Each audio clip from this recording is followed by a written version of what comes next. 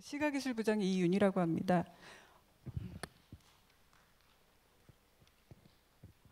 일단 저희 시각예술 그 창작산실 사업 관련해서 한 네 가지 정도 사업이 되고요. 그 19년하고 사실 많이 변화된 부분은 없습니다. 그래서 그 단계별로 맞춤형 지원 사업 체계를 갖추고 있고 2020년 역시 이제 그 창작에서 확산까지 단계별로 지원을 할 예정입니다. 그 전시 사전 연구 지원 같은 경우에는 이제 사전 연구 전시의 사전 연구 지원이라고 보시면 될 것 같고요. 그리고 그 다음에 이제 전시 지원이 있습니다. 그 우수 기획전을 집중 지원하는 전시 지원이 있고요. 그리고 그 네. 비영리 전시 공간하고 살인미술관을 지원하는 그리고 공간 지원 사업이 있습니다. 그리고 이제 마지막으로 비평 지원 사업이 있습니다. 어, 이 전시사전 연구 지원 전체 지원 액수는 한 2,500 정도 되고요. 그리고 전시 지원은 4억 2천, 그리고 이제 공간 지원은 10억 원, 그리고 비평 지원은 한 7천만 원으로 지금 예, 사업을 하고 있습니다.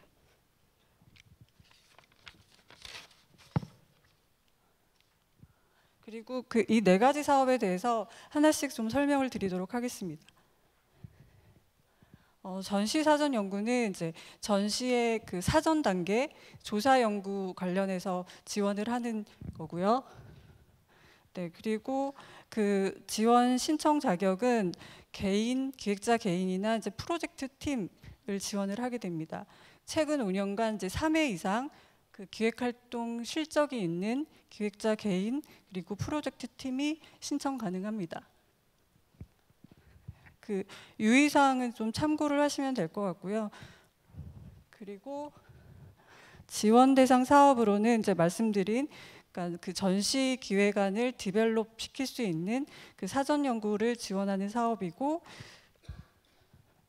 그리고 네 이게 약간 이제 좀 특이한 점은 그 2020년 그러니까 전시 사전 연구 지원에서 선정이 됐을 경우 그 시각예술 창작산실 전시 지원 사업 신청 시 1차 서류 심의가 면제가 됩니다. 그러니까 2차 PT나 바로 이제 인터뷰 심의 대상이 되는 것으로 아시면 되겠습니다. 네, 그리고 그러니까 뭐 지원 내용은 어, 조사 연구, 기획 심화, 워크숍 등 그 전체적인 그 소요되는 직접 경비의 일부 금액을 지원을 하는 거고요. 아까 설명드린 그 2020년 시각예술 창작산실 전시사전 연구 지원으로 선정됐을 경우 그러니까 내년도 그러니까 2021년이죠. 2021년 사업 신청 때 1차 서류 심의가 면제가 됩니다. 그리고 이제 지원 규모는 300에서 500만 원이고요. 그리고 자부담 적용 제외 사업입니다. 어, 심의 방법은 서류 심의로 진행이 됩니다.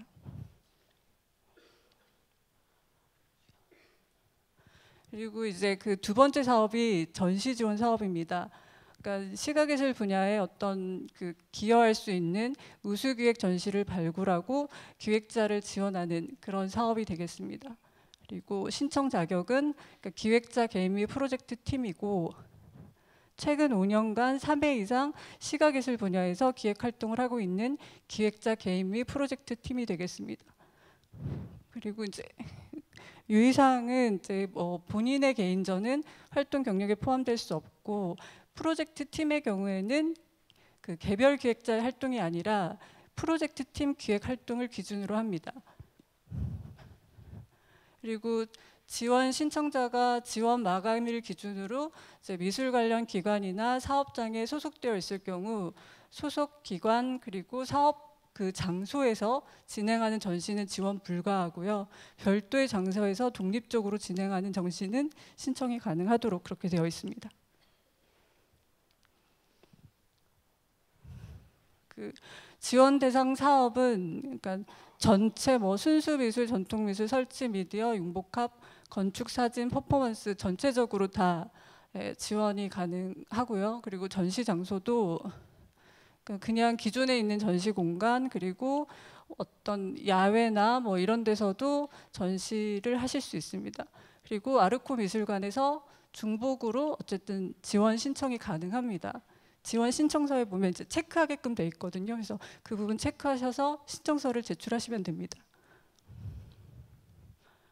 그리고 그 지원 신청할 수 없는 사업은 그러니까 뭐 상업적 목적의 전시나 공모전, 뭐 수상전 뭐 이런 것들은 어쨌든 지원 신청하실 수 없고요. 네. 그리고 이제 지원 내용은 전시 기획 및 구현에 소요되는 직접 경비를 지원을 하고 있습니다. 그리고 이제 그 나머지 내용들은 좀 참고를 하시면 될 것 같습니다. 그 전시 주제별로 특성을 고려해서 맞춤형 전문가 멘토링 이해 같은 거를 지원을 하고 있고요. 그리고 신청자 대표가 기획자 개인 또는 책임 기획자일 경우에 한해서 기획자 사례비도 책정이 가능합니다. 그리고 이제 지원 규모는 2천만 원에서 8천만 원 내외고요. 이 사업은 이제 자부담이 있는 사업입니다. 그래서 총 소유액의 10% 이상 자부담이 책정을 해야 되시고요. 그리고 이제 심의 방법은 1차의 서류 심의, 2차의 PT 및 인터뷰 심의가 있고요. 1차 서류 심의가 이제 선정이 되시면 2차에 저희가 별도로 그 선정자에 대해서만 PT하고 인터뷰 심의 관련된 내용을 이제 개별적으로 안내를 할 예정입니다. 그리고 그 창작 산실 관련돼서는 사실 이제 세 번째 사업이 이제 비평 지원 사업이고요. 그리고 이 사업은 이제 비평 활동과 관련된 모든 어, 사업에 대해서 지원을 합니다. 그래서 비평 활동 지원과 비평서 출판 지원 이 두 개 사업에 대해서는 이제 최근 3년간 시각예술 비평 관련 활동을 하고 있는 비평가나 그러니까 개인 또는 단체 출판사를 포함해서 그 신청이 가능하시고요. 그리고 그 비평 가맹물 발간 지원 같은 경우에는 역시 이제 최근 3년간 그 비평 관련된 간행물을 발간해 오고 있는 단체들이 한해서 이제 신청을 하실 수 있습니다. 그리고 지원 대상 사업은 이제 세 가지 종류로 되어 있는데요.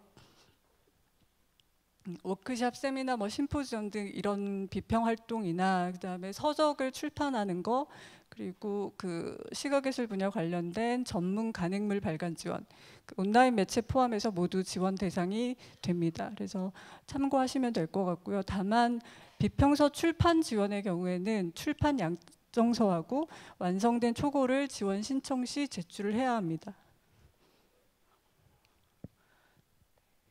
그리고 이제 그 역시 지원 내용도 활동이나 비평서 출판 그 발간에 소요되는 직접 경비를 지원을 하고 있습니다. 그래서 지원 규모는 이제 활동 지원이 300에서 1000만 원, 그리고 출판 지원은 500에서 1000만 원, 그리고 간행물 발간 지원은 500에서 1000만 원 정도로 저희가 지원을 하고 있습니다. 심의 방법은 서류 심의로 진행을 하고 있습니다. 그리고 그 창작산실에서 이제 마지막 이 공간 지원 사업입니다. 그래서 공간 지원은 크게 이제 살인미술관하고 비영리 전시 공간 이렇게 두 개가 지원 대상 사업인데요. 일단 비영리 전시 공간 지원 사업 관련해서 먼저 설명을 드리도록 하겠습니다. 그 뭐 민간에서 운영하는 이제 비영리 전시 공간에 전시나 프로그램을 지원을 하는 그런 사업이라고 보시면 될 것 같고요. 신청 자격은 이제 자립형이 있는데 이 사업은 최소 10년의 운영 실적을 가진 그러니까 2010년 이전에 개관을 했어야 됩니다. 그래서 민간이 운영하는 이제 비영리 전시 공간에 지원을 하는 거고요. 그리고 역시 자립형은 그 이 공간 지원 사업으로 5회 이상 지원을 받은 단체 하나입니다. 그리고 그 성장형은 이제 최소 3년 이상, 그러니까 즉 2017년 이전에 개관을 했어야 하고요. 그 운영 실적을 가진 그 민간이 운영하는 병리 전시 공, 공간에 대해서 이제 지원을 하게끔 되어 있습니다. 그리고 지원 대상 사업은 그및 프로그램으로 이제 3회 이상 포함해서 그러니까 3회 이상 포함해서 지원 신청서를 쓰실 때 그 전시하고 프로그램 3회 이상 작성해서 저희한테 신청을 하셔야 되고요. 그러니까 이건 자립형, 성장형 똑같습니다. 그리고 지원 내용은 어, 기획 전시하고 프로그램에 소요되는 어, 직접 경비 중에 어쨌든 일부 금액을 지원을 하고 있고요. 그러니까 자립형의 경우에는 이제 공간 운영 인력 1인에 대해서 인건비 최대 2천만 원 지원이 가능합니다. 그리고 그 전시장 스텝 도슨트 일용 임금 같은 경우도 모두 다 지원이 가능합니다. 그리고 이제 지원 규모를 보시면 이제 자립형은 5천만 원 정액으로 해서 지원을 하고 있고요. 성장형은 어, 2천만 원에서 4천만 원 내외로 그 지원 규모를 책정하게끔 돼 있습니다. 그리고 이제 심의 방법은 1차가 서류 심의고 어, 1차 서류 심의 끝난 후 선정자에 한해서 2차 PT 및 인터뷰 심의에 대해서 어, 개별적으로 저희가 안내를 하고 그렇게 심의를 진행할 예정입니다. 공간 지원 두 번째 지원 대상이 이제 살인미술관인데요. 민간에서 운영하는 이제 살인미술관의 기획 전시하고 프로그램을 지원을 합니다. 이 살인미술관 관련된 것은 이제 최소 3년 이상 그 운영 실적을 가지고 있어야 하고요. 등록 살인미술관이어야 합니다. 그리고 이제 공고문에 지원 신청할 수 없는 대상이 있습니다. 그 지금 안내 책자 61페이지 정도 되는데 어쨌든 그 부분을 좀 반드시 확인하시고 신청을 해주셨으면 좋겠습니다. 그리고 지원 대상 사업으로는 이제 그 비영리 전시 공간 지원 사업하고 비슷합니다. 그 어, 이 사립미술관에서 운영하는 뭐 전시하고 프로젝트에 관해서 이제 지원을 신청을 하시는 거고요. 그래서 최소 2회 이상을 포함시켜서 지원 신청을 하셔야 합니다.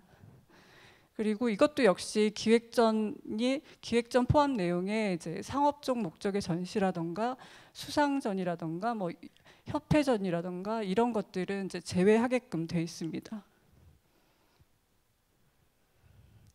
그리고 그 지원 내용은 역시 그 전시하고 프로그램 소요되는 경비를 지원을 하고 있고요. 어, 역시 똑같이 그 전시장 스텝하고 도슨트 일용임금 이런 것들에 대해서 모두 다 지금 지원을 하고 있습니다. 그리고 지원 규모는 2천만 원에서 3천만 원 내외로 지원을 하고 있고요. 당연히 이 사업은 자부담이 책정을 책정을 하셔서 신청을 하셔야 합니다. 그리고 이제 심의 방법은 1차 서류 심의가 있고 이제 선정이 되시면 2차 PT 및 인터뷰 심의를 하게 돼 있습니다. 그 마지막 사업인데요. 아까 문학부장께서도 설명을 드렸다시피 그 아르코 청년예술가 지원 시각예술 분야 설명을 드리도록 하겠습니다. 이미 뭐 사업 목적은 다 아실 내용이시고요. 역시 시각예술 분야도 그 문화예술위원회의 지원금 수혜를 한 번도 받지 않은 그런 청년 예술가들을 지원을 하는 거고요. 그리고 그 수도권의 지역 거주나 뭐 활동 중인 그런 청년 예술가들을 이렇게 선정해서 우대를 합니다. 참고로 2019년에는 이제 선정자의 40%까지 선정을 했었습니다. 그리고 그 신청 자격은 모두 다 동일한데요. 그러니까 39세 이하 80년 1월 1일 이후 출생자에 대해서 신청을 하실 수 있습니다. 그리고 시각예술 분야는 창작산실에 있는 지원 유형과 거의 비슷하게 전시사전 연구 지원, 전시 지원, 그리고 비평 발간 지원 이렇게 해서 세 가지 유형으로 그 지원을 하고 있고요. 그래서 참고로 하시면 될 것 같습니다. 그래서 지원 규모도 역시 좀 차이가 있고요. 기획 전시 지원은 최대 2천, 비평 발간과 전시 사전 연구 지원은 500만 원까지 그렇게 지원을 하고 있습니다. 아, 그리고 이제 그 기획 전시 지원 같은 경우 선정자에 한해서 예술의 전당 전시장에서 전시 발표를 희망하실 수 있는데 그 경우에는 예술의 전당이 진행하는 그 소정의 어떤 절차를 거쳐서 전시 공간 기회를 제공하게끔 그렇게 되어 있습니다. 그래서 신청서 쓰실 때 이 부분을 체크하게끔 되어 있거든요. 그래서 원하시면 그 해당에 체크를 하시고 지원 신청을 하시면 되겠습니다.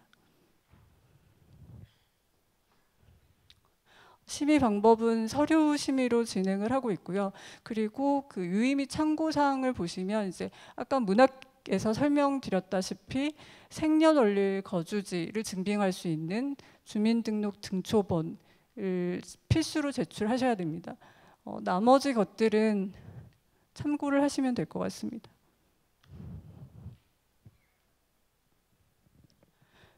아, 그리고 아, 하나만 더 설명을 좀. 네, 그 2020년에 이제 만약에 전시 사전 연구 지원 이 청년 예술가 지원의 전시 사전 연구 지원으로 선정했을 때 선정 그러니까 선정을 받았을 때는 그 사업에 한해서 2021년 기획 전시 유형으로 어, 다시 한번 신청은 하실 수 있습니다. 뭐 선정이 될지 안 될지는 그때 뭐 심의를 해봐야 되는 거고요. 어쨌든 한 번의 기회를 더 제공한다는 거를 예, 생각을 해두시면 될 것 같습니다. 그리고 그 다원예술 분야가 있고요. 역시 사업 목적이나 지원 신청 자격은 똑같이 예, 만 39세 이하 청년예술가 그리고 문화예술위원회 지원금 수혜를 한 번도 받지 않는 청년예술가 동일합니다. 다만 이제 그 다원예술 부자는 이제 프로젝트 지원으로 창작 준비 지원하고 제작 및 발표 지원 이렇게 해서 준비 지원은 그 준비에 소요되는 경비를 지원을 하고요. 최대 1천만 원, 제작 및 발표 지원은 그 최대 2,500만 원에서 이렇게 지원을 할 예정입니다. 심의 방법은 서류 심의로 진행을 하게끔 돼 있습니다. 그리고 이 역시 유의 및 참고 사항은 아까 말씀드린 시각예술 분야 관련해서 같은 내용이고요. 다만 그 다원예술 같은 경우에는 이제 공연 분야에 비해서 지원 규모가 조금 더 높습니다. 그래서 그 아무래도 다원예술 쪽에 지원 신청을 하시고 싶으신 그런 예, 생각이 있을 수도 있는데 다만 그 문학, 시각, 공연 등 여러 분야가 융복합적으로 이루어지는 그런 창작 활동의 성격이 두드러져야 된다는 것을 꼭 말씀을 드리고 싶고요. 그래서 이제 지원 신청자가 그러한 창작 활동의 성격을 명확히 해서 분야를 공연으로 할지 뭐 다원으로 하실지 시각으로 하실지 선택해서 지원 신청하셔야 합니다.